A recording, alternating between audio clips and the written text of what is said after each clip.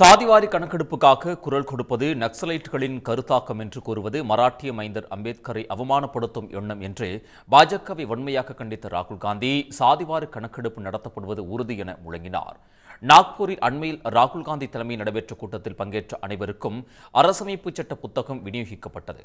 அந்த புத்தகத்தின் முன்பக்கத்தில் இந்திய அரசமைப்பு என்று குறிப்பிட்டு புத்தகத்தின் உள்ளே வெற்று காகிதம் மட்டுமே இருப்பதாக பாஜகவினர் குற்றம் சாட்டி வீடியோ ஒன்றை வெளியிட்டனர். வெற்று காகிதமாக உள்ள இந்த புத்தகத்தைப் போல அரசமைப்பு சட்டத்தில் அம்பேத்கரால் எழுதப்பட்ட அனைத்து சட்டங்களையும் அழிக்க காங்கிரஸ் முயல்வதாக பாஜக குற்றம் சாட்டியது. அந்த கூட்டத்தில் ராகுல் காந்தி காட்டி அரசமைப்பு சட்ட புத்தகம் சிவப்பு நிறத்தில் இருந்ததை சுட்டிக்காட்டி அர்பன் நக்சல் பக்கம் சாய்வதாக மராட்டிய துணை முதல்வர் தேவேந்திர பட்னவிஸ் விமர்சித்திருந்தார். இந்நிலையில் எக்ஸ் சமூக வலைதள பக்கத்தில் ராகுல் காந்தி பதிவு ஒன்றையிட்டுள்ளார் அதில் பாபா சாஹேப் அம்பேத்கரின் அரசமைப்பு சட்டத்தை தாங்கிக் கொண்டு சாதிவாரி கணக்கெடுப்புக்கு ஆதரவு தெரிவிப்பது நக்சலைட்டுகளின் கருத்தாக்கம் என்று பாஜகவினர் கூறுவது அம்பேத்கரை அவமானப்படுத்தும் செயல் என்று குறிப்பிட்டுள்ளார்.